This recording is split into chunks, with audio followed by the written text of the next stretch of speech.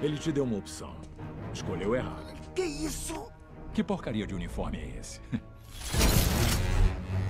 É um lançador de teias.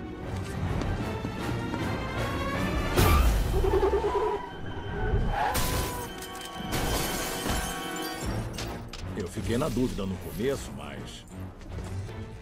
Toma! Ah, que nojo!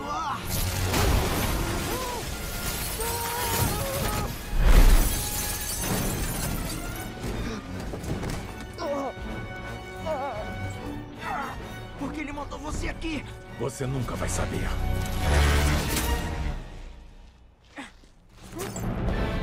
Mandou bem!